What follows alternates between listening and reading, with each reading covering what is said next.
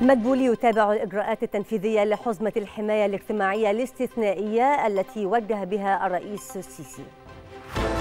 رئيس الوزراء العراقي يجدد دعوته للحوار ويؤكد أن حكومته تقف على مسافة واحدة من الجميع. مجلس الأمن يعقد جلسة لمناقشة الوضع في محطة زابوريجيا وأوكرانيا تدعو لإرسال وفد من الخبراء لتقييم التهديد ضد المحطة. السادسة مساء بتوقيت القاهرة الرابعة بتوقيت جرينتش نشرة إخبارية مفصلة تأتيكم من التلفزيون المصري. أهلا بكم.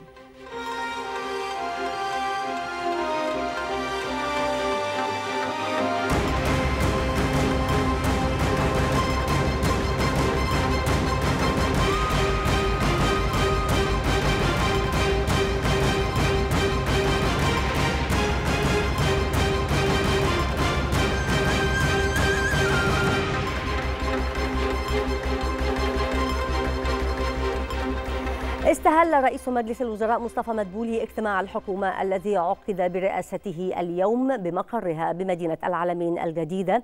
استهله بالإشادة بالجهود التي قام بها السيد الرئيس عبد الفتاح السيسي والجهات المصرية المعنية ونجاحها في وقف إطلاق النار في قطاع غزة. كما أشاد مدبولي بلقاء رئيس السيسي مع طلاب الكلية الحربية وأهمية تلك اللقاءات في توجيه الرسائل المهمة حول مختلف القضايا الداخلية والخارجية. وأشار مدبولي خلال الاجتماع إلى أنه يتم حاليا الإعداد والتجهيز للانتقال النهائي والدائم للحكومة إلى العاصمة الإدارية الجديدة لافتا إلى أنه يتم الاطمئنان على منظومة الاتصالات وتجهيز الطرق خاصة في ظل تنفيذ بعض أعمال تنفيذ القطار الكهربائي والمونوريل. هذا ووافق مجلس الوزراء خلال اجتماعه على عدد من القرارات المتعلقة بتيسير بيئة الأعمال وتقديم تسهيلات جديدة للمستثمرين.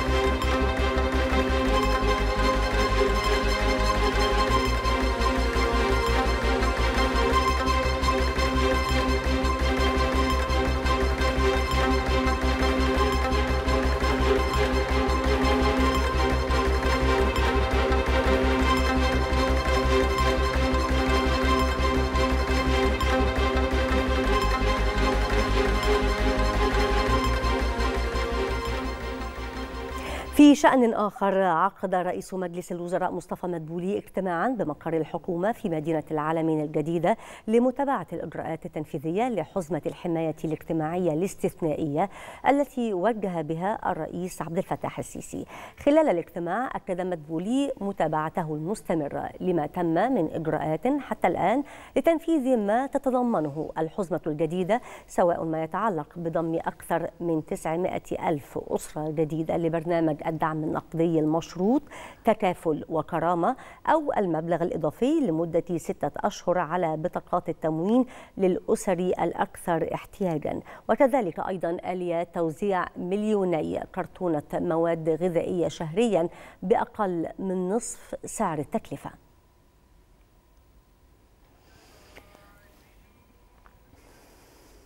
وفي إطار نشاطه اليومي شهد رئيس مجلس الوزراء مصطفى مدبولي التوقيع المبدئي لمشروعي إنشاء البنية الفوقية وإدارة وتشغيل واستغلال وصيانة وإعادة تسليم محطتي الحاويات بمينائي السخنة والدخيلة بين كل من المنطقة الاقتصادية لقناة السويس وشركة هاي هاتشستون وأكد مدبولي أنه رغم الظروف الاقتصادية والتحديات العالمية إلا أن الدولة لم تتوقف عن بذل الجهود في جذب المزيد من الاستثمارات العالمية لتحقيق استراتيجيتها لتكون مركزا عالميا للتجارة واللوجستيات.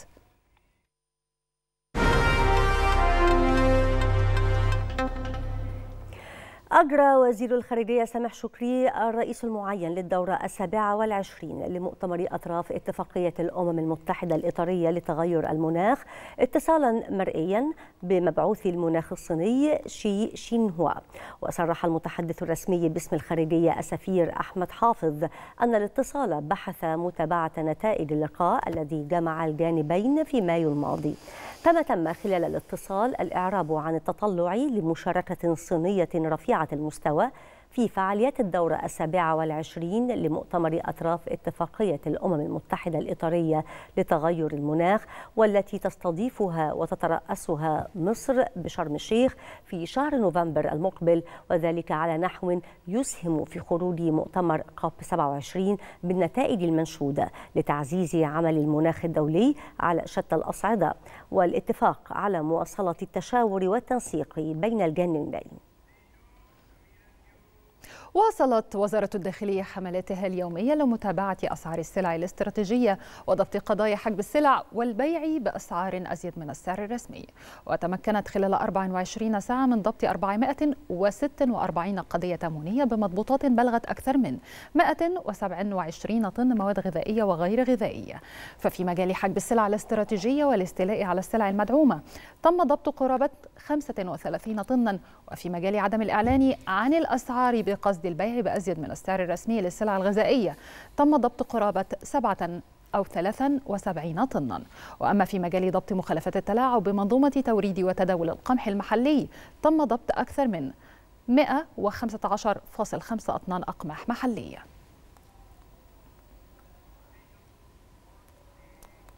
أيضا واصلت أجهزة وزارة الداخلية جهودها للتصدي للجرائم التموينية بكافة أشكالها حيث تمكنت الإدارة العامة لشرطة التموين والتجارة بالتنسيق مع فروعها الجغرافية بمديريات الأمن وقطاع الأمن العام من ضبط العديد من قضايا غش السلع وحجبها عن التداول فضلا عن ضبط سلع منتهية الصلاحية.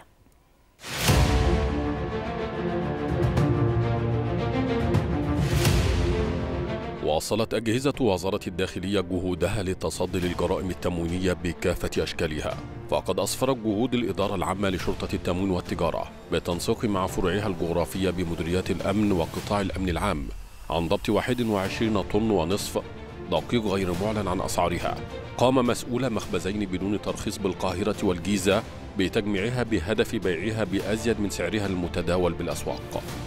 وتمكنت من ضبط أكثر من 48 طن سكر ومكرونة وأرز ودقيق معبأة داخل شكائر غير معلن عن أسعارها بحوزة مسؤولي أربعة مخازن لتجارة السلع الغذائية بدون ترخيص بالجيزة والقاهرة والقليوبية بهدف بيعها بالسوق السوداء.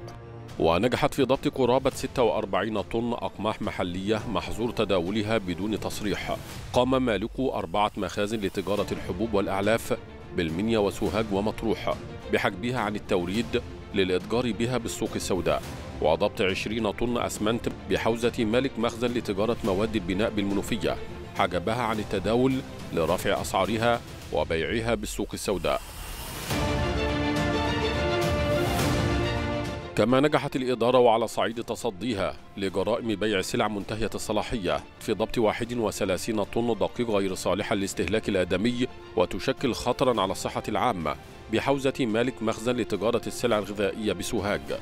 وتمكنت من ضبط 18 طن دواجن ولحوم ومقطعاتها غير صالحة للاستهلاك الآدمي بثلاجتين لحفظ السلع الغذائية بالجيزة.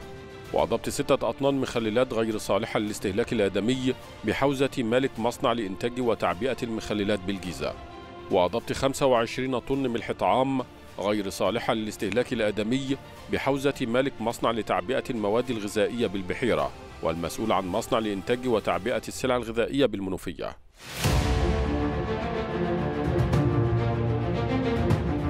الإدارة تمكنت من ضبط 91 طن ونصف أعلاف حيوانية غير صالحة للاستخدام الحيواني وذات أثر ضار على الثروة الحيوانية خلال حملات شنتها الإدارة بالمنوفية والشرقية والغربية. وتمكنت من ضبط خمسة أطنان أسمدة زراعية غير صالحة للاستخدام الزراعي بحوزة مالك محل لتجارة الأسمدة الزراعية بالشرقية. كما نجحت في ضبط أكثر من 14 طن منظفات صناعية غير مطابقة للمواصفات القياسية وغير صالحة للاستخدام بحوزة مالك مصنع بدون ترخيص لإنتاج وتعبئة المنظفات الصناعية بالجيزة.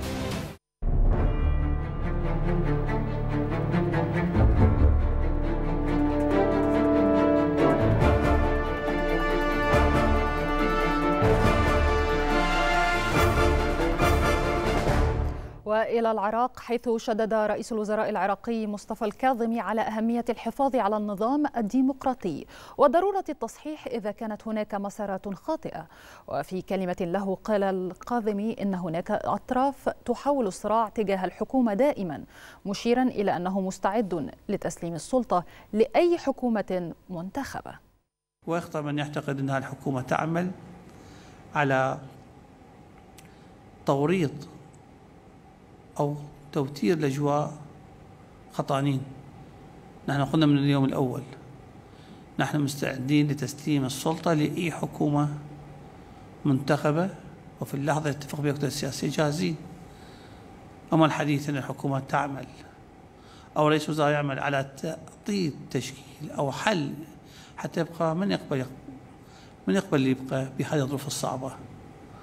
هي القصة مو قصة منصب القصة قصة نجاح. أما نقبل نكون ناجحين ونقبل التحدي أو آه بكل تأكيد آه على الكتل السياسية أن تقوم بدورها بإيجاد حل. لهذا الانسداد لكي ننطلق نحو عراق مشرق عراق. بفرصة للأمل ويجب أن نكون متفائلين ويجب أن نؤمن أنه لا حل إلا بالحوار. وجه وزير الدفاع العراقي جمعة عيناد قادة العمليات والفرق بالابتعاد عن الصراعات السياسية وأن يكون القادة على مسافة واحدة من الجميع وألا يركنوا إلى جهة ضد أخرى. وأوضح عيناد في بيان صدر عقب اجتماع مع القادة أن واجب الجيش العراقي المقدس هو حماية الوطن وجدد عناد تأكيده على عدم الانجرار وراء الفتنة والتصرف بحكمة وحيادية.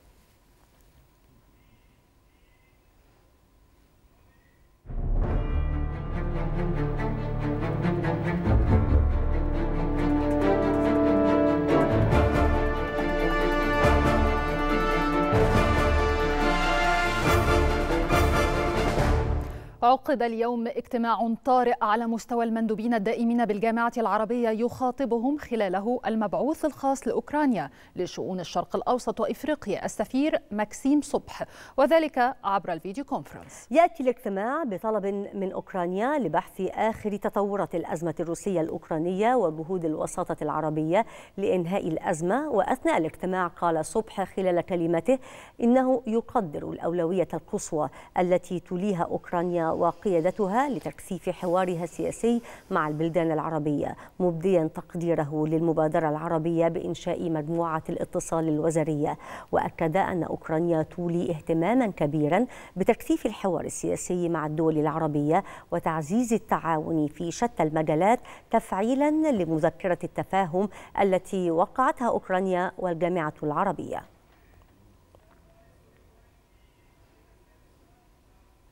دعا وزير الخارجية الأوكراني ديمتري كوليبا إلى إرسال وفد من خبراء أمميين تقنيين وعسكريين إلى زاباروجيا لتقديم أو لتقييم التهديد ضد المحطة النووية. وخلال جلسة لمجلس الأمن الدولي قال كوليبا إن روسيا تعرض كامل أوروبا للخطر بتحويل محطة زابوريجيا النووية الأكبر في أوكرانيا وأوروبا إلى قاعدة عسكرية لافتا إلى ضرورة سماح روسيا بوصول بعثة دولية إلى المحطة في حال لم يكن لدى موسكو ما تخفيه بحسب تعبيره. إلى ذلك قالت الإدارة العسكرية والمدنية الروسية إن مستوى الإشعاع في محطة زابوريجيا النووية طبيعي مشيرة إلى سقوط ثلاثة قذائف أوكرانية بمنطقة تخزين النظائر المشعة في المحطة.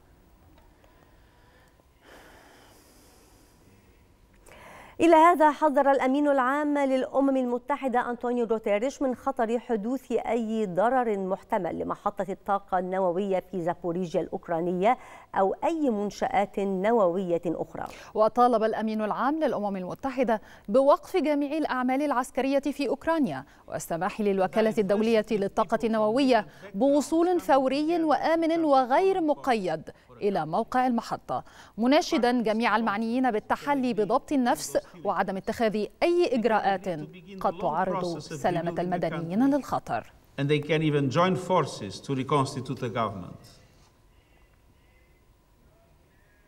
من جهته أكد الممثل الأعلى للشؤون الخارجية والسياسة الأمنية للاتحاد الأوروبي جوزيف بوريل ووزراء خارجية مجموعة الدول الصناعية السبع الكبرى أكدوا دعمهم لجهود الوكالة الدولية للطاقة الذرية نحو تعزيز السلامة والأمن النوويين داخل محطة زابوريجيا الأوكرانية للطاقة النووية. وأعرب وزراء خارجية مجموعة السبع إلى جانب بوريل عن إدانتهم الشديدة للعمليات العسكرية الروسية في أوكرانيا.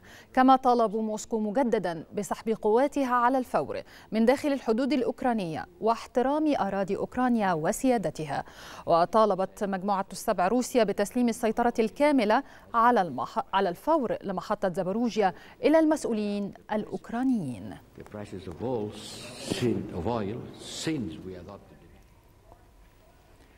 أعلنت بريطانيا إمداد أوكرانيا بأنظمة صواريخ متعددة للإطلاق وقادرة على إصابة أهداف على مدى 80 كيلومتر. وقال وزير الدفاع البريطاني بن واليس إن هذا الدعم العسكري سيمكن القوات المسلحة الأوكرانية من مواصلة الدفاع عن نفسها في مواجهة المدفعية الروسية الثقيلة وبعيدة المدى. كما أوضح أن استمرار بريطانيا في توريد الأسلحة إلى أوكرانيا يعد رسالة مفادها أن لندن ستواصل الدعم العسكري لكييف للدفاع عن نفسها.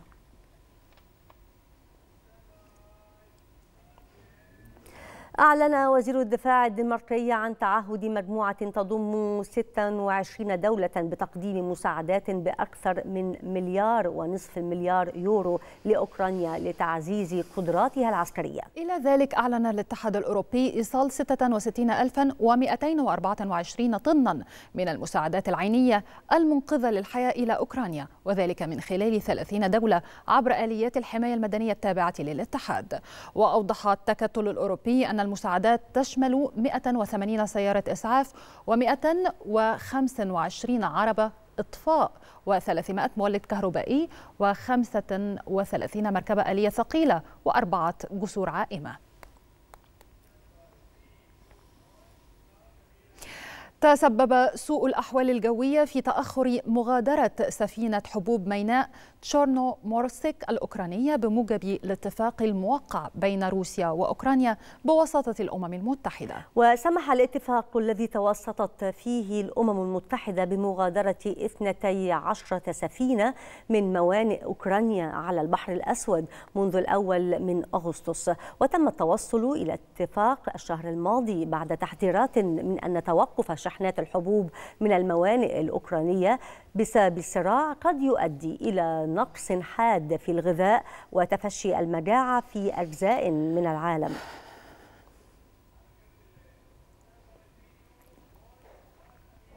أطلقت إسبانيا مشروعا تجريبيا لاستيراد الحبوب من أوكرانيا بالقطار لاستكشاف مدى إمكانية استخدامه إذا أغلقت الطرق البحرية أو تم حظرها بسبب الحرب. وتسببت العمليات العسكرية الروسية في أوكرانيا في توقف صادرات الحبوب الأوكرانية ما أدى إلى محاصرة ما يصل إلى 25 مليون طن من القمح والحبوب الأخرى في موانئ كييف على البحر الأسود. وأدت الحرب إلى ارتفاع أسعار الغذاء في كل أنحاء العالم وأثارت مخاوف من حدوث مجاعة.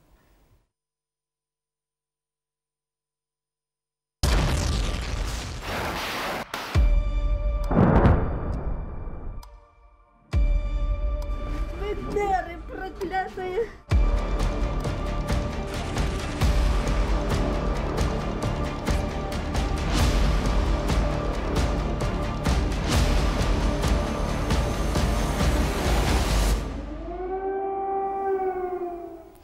أظهر مسح رسمي في بريطانيا أن واحد بالمئة فقط من الشركات البريطانية عرضت على موظفيها مدفوعات تكلفة المعيشة لمرة واحدة وهو أمر اعتبره بنك إنجلترا مؤخرا خطرا صعوديا لضغط لضغط التضخم. وقال مكتب الإحصاءات الوطنية أن 5.5% من الشركات التي توظف أكثر من 250 موظفا قد عرضت مثل هذه المدفوعات في الأشهر الثلاثة التي سبقت منتصف يوليو الماضي.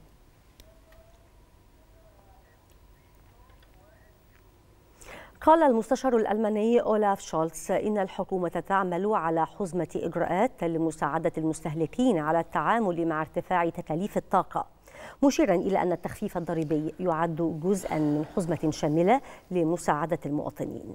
وأوضح المستشار الألماني أن أولوية الحكومة الحالية تتمثل في التحول في مجال الطاقة نحو مصادر الطاقة المتجددة مؤكدا أن تأمين الازدهار هو مشروع لإصلاح المركزي للحكومة. Ich sage aber auch ein deutscher Bundestag und auch die Bürgerinnen und Bürger dieses Landes können nicht ein Spiel spielen gegen Brüssel. Oder gegen andere Länder in der Europäischen Union für die nationale Debatte. Nach dem Motto أظهرت بيانات رسمية صدرت عن الإدارة الأمريكية أن متوسط أسعار الغاز داخل الولايات المتحدة انخفض بنسبة 20% منذ ذروته في يوليو الماضي ووصل إلى أقل من 4 دولارات للجالون للمرة الأولى منذ شهر مارس الماضي وقالت صحيفة واشنطن بوست الأمريكية إن المخاوف المتزايدة من حدوث ركود عالمي أدت إلى انخفاض أسعار النفط بشكل حاد. الأمر الذي لاقى ارتياحا كبيرا بالنسبة للأمريكيين الذين يعانون من ضائقة مالية حتى مع استمرار ارتفاع التضخم. بأكثر مما كان متوقعا سجل التضخم تباطؤا أكبر في يوليو بالولايات المتحدة الأمريكية خصوصا بفضل تراجع أسعار الوقود في المحطات في نبأ أشاد به الرئيس جو بايدن قبل أشهر من انتخابات نصف الولاية الحاسمة. الرئيس الأمريكي قال كذلك إن التضخم يظهر علامات على الاعتدال لكن هناك حاجة إلى مزيد من العمل لجعل معيشة المستهلكين أكثر يسرا. وعلى مدى شهر واحد بلغ التضخم صفرا مما يعني يعني أن الأسعار وخلافا لكل التوقعات لم ترتفع مقارنة بشهر يونيو علما أنها كانت قد ارتفعت بنسبة 1.3% الشهر السابق مقارنة بمايو. وقد ارتفعت الأسعار في الولايات المتحدة بشكل كبير منذ عام ونصف مما قوض القدرة الشرائية وانعكس سلبا على شعبية الرئيس جو بايدن. في غضون ذلك يتهم خصوم بايدن الرئيس باتباع سياسة اقتصادية تضخمية بسبب خطة خطته التحفيزية للنهوض في مارس 2021 بعد وصوله إلى البيت الأبيض. يأتي هذا في حين يسعى الاحتياط الفيدرالي جاهدا لإحداث تباطؤ طوعي في الاستهلاك لتخفيف الضغط على الأسعار. وبهدف تحقيق ذلك يقوم الفيدرالي برفع أسعار الفائدة الرئيسية المحددة حاليا بين 2 و 25 من 100% إلى 2 و 5 من 10% وهذا الأمر يشجع البنوك التجارية على تقديم قروض أكثر تكلفة لعملائها من الأفراد والشركات. وقد استعادت سوق العمل الأمريكية في يوليو عافيتها لمستويات ما قبل انتشار وباء كورونا مع تراجع لمعدلات البطالة إلى 3.5 من عشرة في المئة. السادسة مستمرة على شاشة التلفزيون المصري وتتابعون فيها. رئيسة تايوان تقول إن التهديد الصيني بشأن الجزيرة لم يتراجع.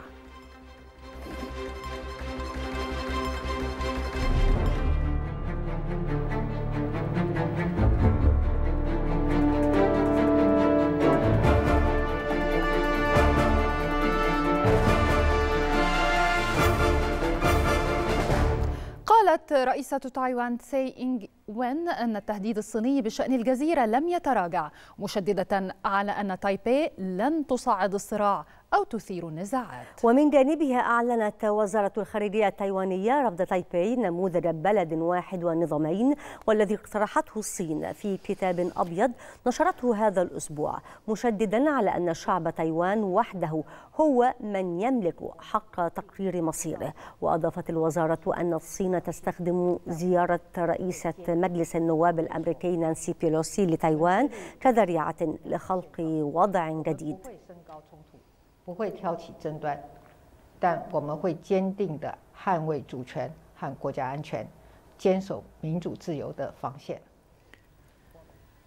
أجرى الجيش التايواني تدريبات جديدة بالذخيرة الحية أطلقت خلالها القوات قذائف مدفعية. يأتي ذلك بعد إنهاء الصين مناورات عسكرية تعد الأكبر حول الجزيرة التي تعتبرها جزءا لا يتجزأ من أراضيها.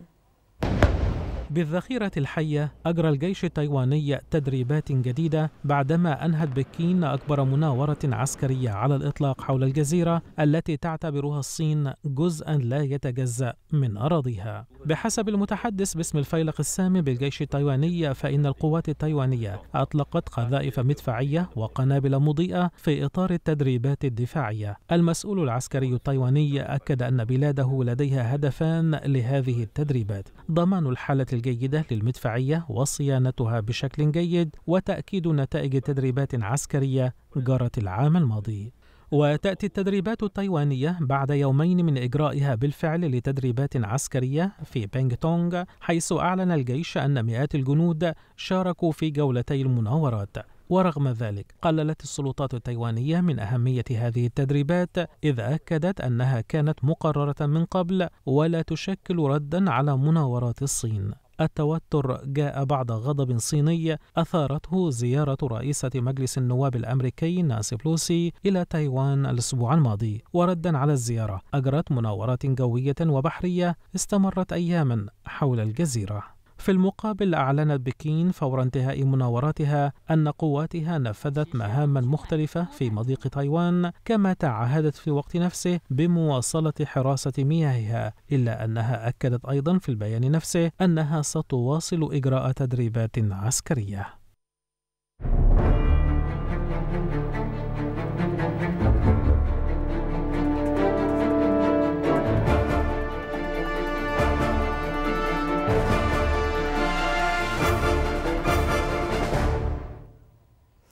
أعلنت العديد من الدول الشرق آسيوية تجدد مخاطر تفشي فيروس كورونا مع تزايد عدد الإصابات. ففي تايلاند تم تسجيل 2316 إصابة و35 حالة وفاة جديدة بفيروس كورونا وذلك خلال الساعات الأربع والعشرين الماضية. كما حذرت السلطات الصينية من انعكاسات لتجدد ظهور الإصابة بفيروس كورونا في دول مجاورة على جهودها للوقاية من كورونا والسيطرة عليها. للمزيد نتابع التقرير التالي. يبدو أن فيروس كورونا لم يعد تحديا صحيا فحسب ولم تتوقف تبعاته على انهيار العديد من الأنظمة الصحية وإنما صار سببا للخلاف الذي قد يؤدي لتفجر الأوضاع في الشرق الآسيوي الذي صار يمتلك العديد من النقاط المتوترة والساخنة ولا سيما مع عودة الإصابات. ففي كوريا الشمالية اتهمت شقيقة زعيم كوريا الشمالية كيم جونغ أون كوريا الجنوبية بالتسبب في تفشي فيروس كورونا في بلادها وتوعدتها برد انتقامي. يو يونغ قالت إن هناك أنشطة على الحدود تتحمل مسؤولية انتشار كورونا معتبرة ذلك جريمة ضد الإنسانية بحسب تعبيراتها. وتأتي تعليقات يو يونغ مع إعلان الزعيم الكوري الشمالي الانتصار على فيروس كورونا إثر عدم تسجيل إصابات جديدة منذ نحو أسبوعين. وفي الصين حذرت السلطات من تجدد ظهور الإصابات بفيروس كورونا في دول مجاورة وانعكاسات ذلك على جهودها للوقاية من كورونا والسيطرة عليها. المتحدث باسم لجنة الصحة الوطنية الصينية ميفانغ قال إن تسع مناطق على مستوى المقاطعات في الصين أبلغت كل واحدة منها عن حوالي 100 إصابة بكورونا منذ بداية أغسطس الجاري. ونحو ألفي إصابة في هاينان. وقد أضاف المسؤول الصيني أن الحالات المبلغ عنها أخيرا في منطقة التبت ذاتية الحكم تشكل أيضا خطرا كبيرا ليبقى كورونا رغم النزاعات هو الخطر الأكبر الذي تواجهه الإنسانية.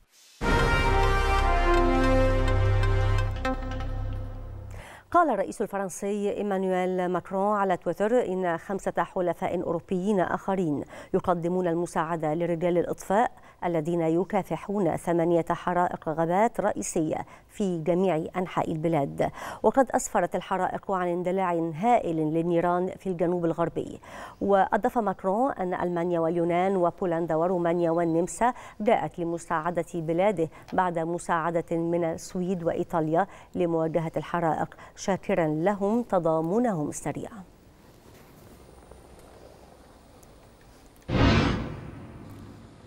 حرائق الغابات أصبحت من العقبات القوية التي تواجه عددا من الدول الأوروبية وبخاصة فرنسا حيث تكبد الحكومات الأوروبية خسائر كبيرة. ففي فرنسا تجددت الحرائق جنوب غرب البلاد وبالتحديد في جيروند مما أدى إلى تدمير مساحات كبيرة من غابات الصنوبر. وهو الأمر الذي دفع بباريس لطلب المساعدة من إيطاليا والسويد وإرسال طائرات إطفاء لمواجهة الحرائق. وقد لجأت السلطات الفرنسية الفرنسية إلى إجلاء عدد كبير من سكان بلدات هوستن وسان ماجن بسبب شدة الحريق الذي التهمت نيرانه 16 منزلا في عدة مناطق من مقاطعة بيلين بيليت حيث كانت تجري عملية إخلاء لنحو ألفي شخص. جيروند شهدت أيضا في منتصف يوليو الماضي حريقين غير مألوفين أحدهما في منطقة لانديراس التي تبعد 40 كيلومتر جنوب بوردو والثاني في تيست دي بوش في حوض أركاشون السياحي ودمر مساحات كبيرة من الغابات. فرنسا تعاني مثل بقية دول أوروبا من موجات حارة وجفاف تسبب في حرائق لغابات متعددة في أنحاء القارة خلال الشهرين الماضيين وهو الأمر الذي يزيد من أهمية رفع معدلات التعاون بين الدول فيما يتعلق بقضية التغير المناخي من أجل مواجهة تلك الأزمة.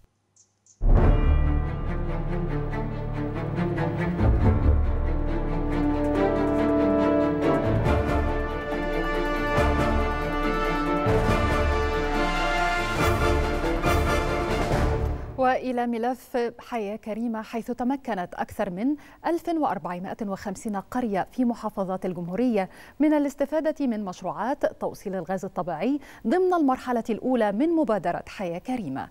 ويجرى حاليا الانتهاء من توصيل الغاز الطبيعي إلى 120 قرية بما يوفر هذه الخدمة الحضارية لنحو 413 ألف وحدة سكنية في نطاق لهذه القرى.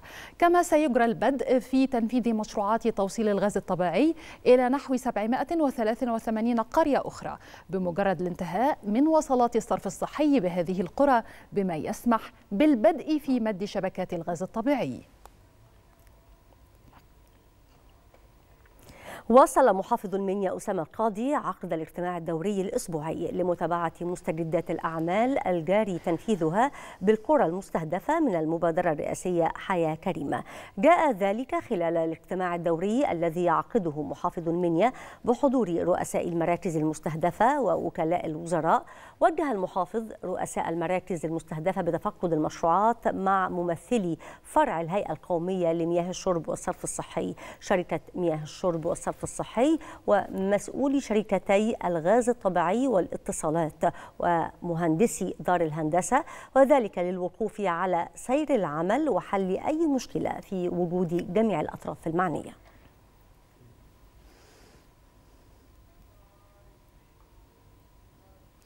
انطلقت اليوم قافلة طبية بالوحدة الصحية بحدربة جنوب البحر الأحمر ضمن المبادرة الرئاسية حياة كريمة. وقال منسق القوافل الطبية بالبحر الأحمر وسيم إدوارد إن القافلة قامت بتوقيع الكشف وصرف العلاج ل 86 حالة بمختلف التخصصات الطبية ومنها وتم إجراء جميع الكشوفات والفحوصات وصرف العلاج بالمجان وذلك لضمان وصول الخدمة الطبية لجميع أهالي قرى ومدن محافظة البحر الأحمر.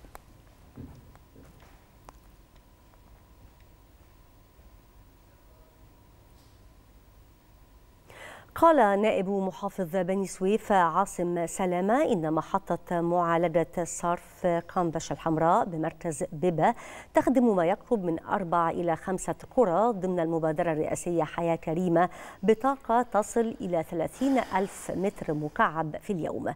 وخلال جولته بمركز بيبا لمتابعة سير العمل في مشروعات مبادرة حياة كريمة لتطوير القرى حيث تفقد مشروع إنشاء محطة رفع للصرف الصحي قرية قنبش والتي تتكون من محطة رفع وخط طرد وشبكة انحدار وذلك ضمن 42 مشروعا بالقطاع بنطاق المركز.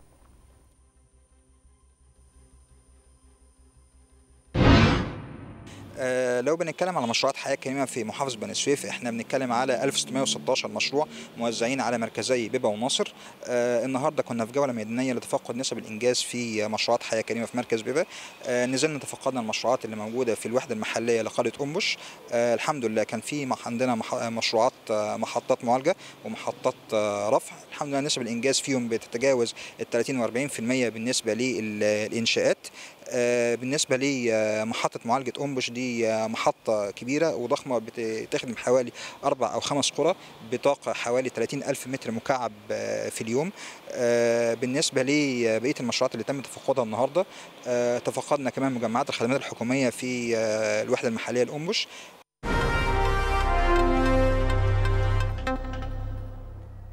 عقد مركز المعلومات ودعم اتخاذ القرار بمجلس الوزراء ورشة العمل الحادية والعشرين ضمن سلسلة جلسات حوار الخبراء وذلك لمناقشة مستهدفات وثيقة سياسة ملكية الدولة بقطاع الرياضة بحضور عدد من نواب البرلمان وممثلي الجهات التنفيذية المعنية والأندية الرياضية.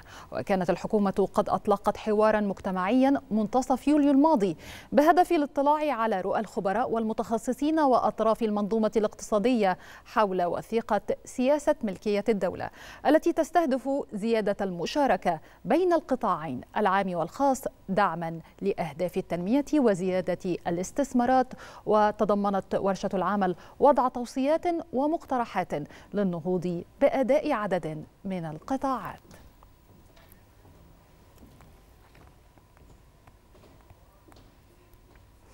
أصدر مركز المعلومات ودعم اتخاذ القرار بمجلس الوزراء عددا جديدا من التقرير الدوري مقتطفات تنموية. يهدف إلى إلقاء الضوء على باقة من المعارف الصادرة عن كبرى المؤسسات الدولية ومراكز الفكر العالمية. وقد أشار التقرير إلى إشادة وكالة فيتش العالمية بجهود الحكومة لتعزيز دور القطاع الخاص وتوقعات الوكالة بنمو قطاع البناء والتشييد في مصر بنسبة 11% خلال العام الجاري. كما أشار التقرير أيضا إلى تحذير البنك الدولي من الركود الاقتصادي العالمي وأنه من الأس هو الأسوأ منذ الحرب العالمية الثانية. كما أيضا نشر توقعاته بأن يتباطأ النمو العالمي بشكل حاد هذا العام ليصل إلى 2.9% مقارنة ب 5.7% العام الماضي.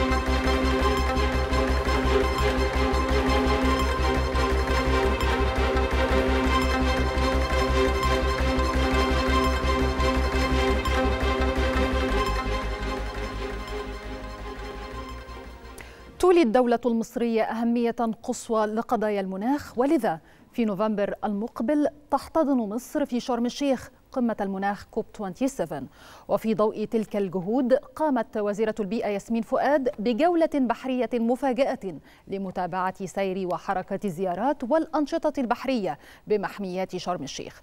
وأشادت فؤاد بأعمال التطوير والإجراءات الوقائية المتبعة مشددة على الالتزام بالخرائط البحرية المنشورة بالسقالات البحرية لضمان سلامة الحياة البحرية وتوفير رحلات سياحية بحرية بيئية فريدة ومتميزة للسائحين.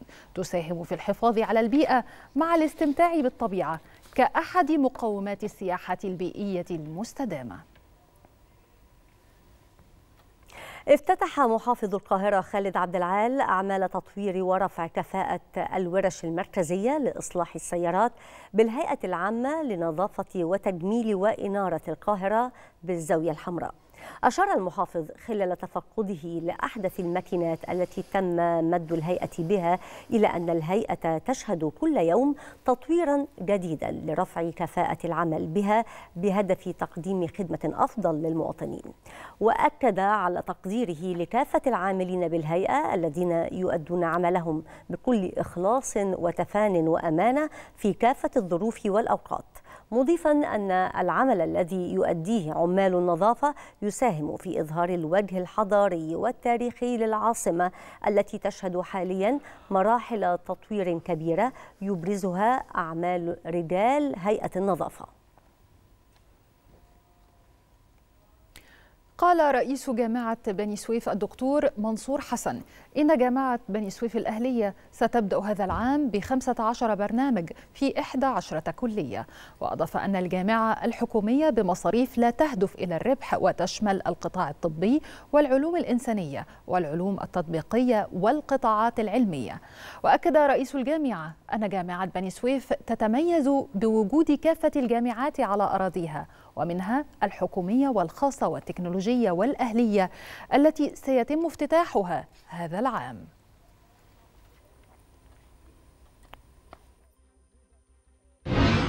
إحنا بنهني أبنائنا من طلاب الثانوية العامة وبنبلغهم إن إحنا يعني إن شاء الله هدية فخامة رئيس الجمهورية بافتتاح أو بداية تشغيل 11 جامعة أهلية على مستوى محافظات مصر بالإضافة إلى أربع جامعات أهلية اشتغلت من سنتين يبقى كده عندنا يعني خمس أنواع من التعليم في مصر اللي هو التعليم الحكومي والتعليم الخاص والتعليم الأهلي والتعليم الجامعات التكنولوجية والجامعات الدولية. بني سويف محظوظة جدا المحافظة إن فيها جامعة حكومية وجامعة تكنولوجية وجامعات خاصة وجامعة أهلية إن شاء الله سوف تفتتح بداية هذا العام. أكد محافظ الإسماعيلية شريف فهمي بشارة أهمية دور المحافظة زراعيا باعتبارها أكثر محافظات مصر إنتاجا للمانجو خلال المؤتمر الرسمي للإعلان عن فعاليات مهرجان الإسماعيلية للمانجو في دورته الأولى 2022 والذي عقد بقاعات الاجتماعات الرئيسية بديوان عام المحافظة دعا محافظ الإسماعيلية جميع المواطنين لحضور فعاليات مهرجان المانجو يومي التاسع عشر والعشرين من أغسطس. من ضمن الأهداف الرئيسية للمؤتمر الترفيه على يعني أهل محافظة الإسماعيلية بالإضافة لزوار الإسماعيلية فيبقى في كرنفال متحرك ثم عدة أماكن موجودة للجمهور في حديقة نمرة ستة وفي نادي الفيروز وفي حديقة الشيخ زايد وفي نادي السلام وفي أماكن مختلفة من مراكز مدينة الإسماعيلية. هيبقى فيها عروض فنية وهيبقى فيها عرض لمنتجات المانجو المختلفة وهيبقى الأسعار هي أسعار الجملة اللي موجودة في سوق الجملة في إسماعيلية عشان نقدر نتيح يعني هذا المحصول وهذا المنتج لأهالينا بالكامل في المحافظة والزوار المحافظة من خارج مدينة محافظة الإسماعيلية ونتحول إلى الشأن الاقتصادي وآخر أخبار المال والأعمال. والتفاصيل مع رغدة أبو ليلى. إليك رغدة. شكرا لكما إلهام نمر وأميرة العقدة. إلى أخبار المال والأعمال محليا وأيضا عالميا.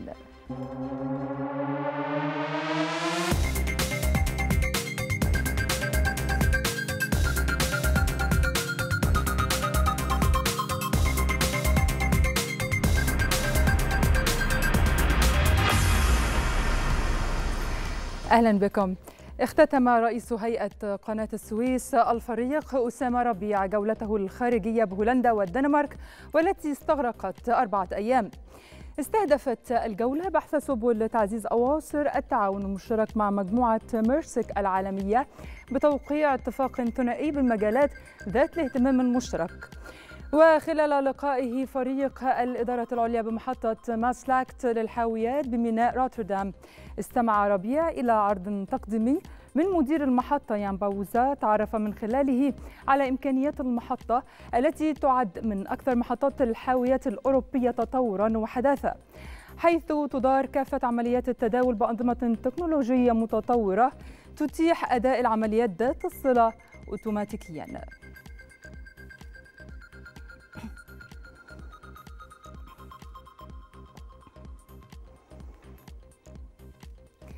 أعلنت وزيرة التخطيط هالة سعيد عن إدراج خطة المواطن الاستثمارية على منصة الأمم المتحدة لمبادرات تسريع تحقيق أهداف التنمية المستدامة. أكدت وزيرة التخطيط أن إدراج خطة المواطن الاستثمارية على منصة الأمم المتحدة لمبادرات تسريع تحقيق أهداف التنمية المستدامة يمثل نجاحا كبيرا. يؤكد حرص الوزارة على تحقيق مبدأ الشفافية موضحة أن خطة المواطن تم إدراجها حيث تساهم في تحقيق الهدفين العاشر والسادس عشر من أهداف التنمية المستدامة الأممية.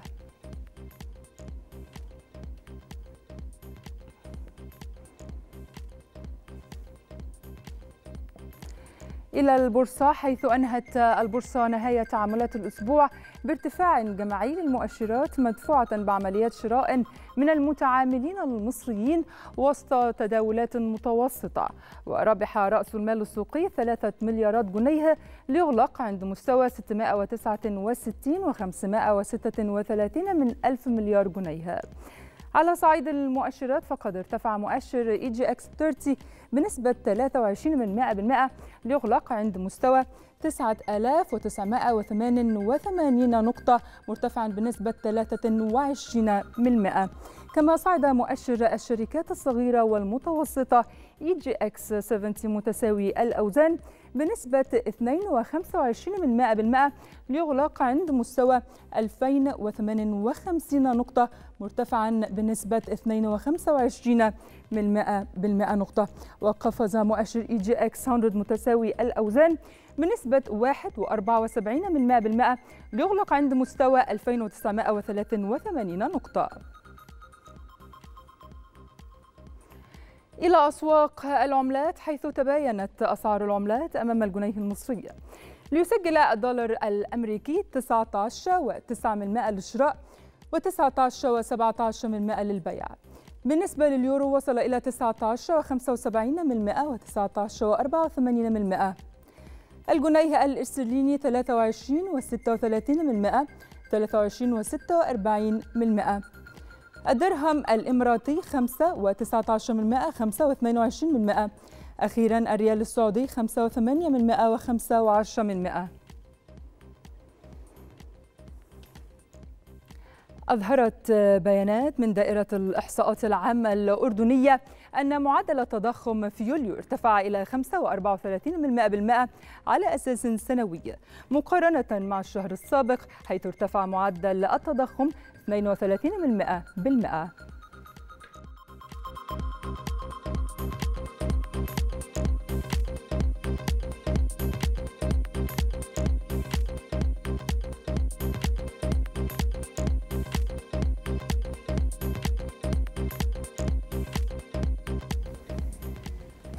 نهاية الأخبار الاقتصادية. عودة من جديد إلى إلهام نمر وأميرة العودة إليكما. شكرا لك رغدة أبو ليلى على هذا العرض.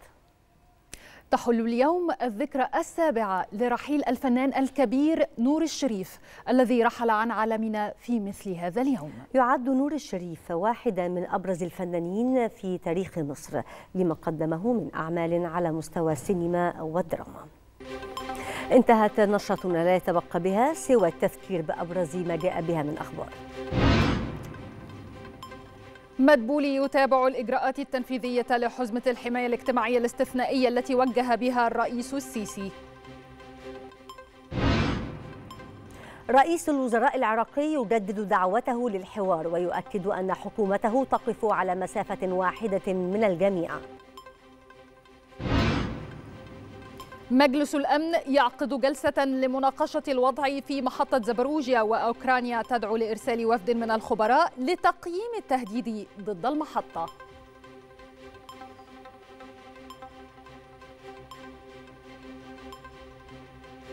انتهت نشرة السادسة من التلفزيون المصري. شكرا للمتابعة دمتم في أمان الله.